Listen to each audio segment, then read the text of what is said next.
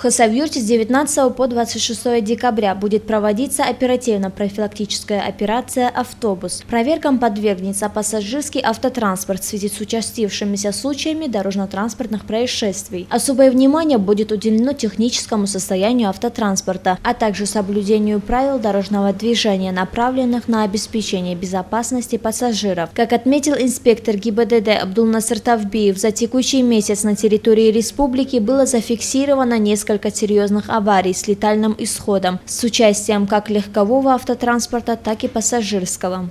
Недавние случаи дорожно-транспортных происшествий в Дербенском районе, Карабдакенском, где есть погибшие, а также у нас в городе Хасаюрте 14 декабря тоже произошло дорожно-транспортное происшествие. Это маршрут Ленаул Хасаюрт. И хотелось бы обратить внимание, чтобы водителям, которые перевозят людей, они чтобы везли их технически исправным и, конечно, оборудованным ремнями безопасности, тахографами, чтобы не изменяли конструкции на данных транспортных средствах, что влияет на безопасность перевозки пассажиров. Водители маршрутных такси на проводимую работу госавтоинспекции отнеслись положительно. Обратились к коллегам быть бдительными и следовать правилам дорожного движения.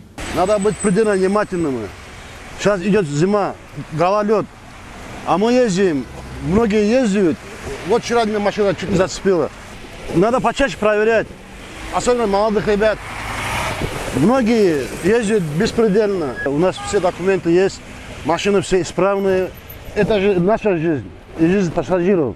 Мы отвечаем за этих 15 человек в любом случае.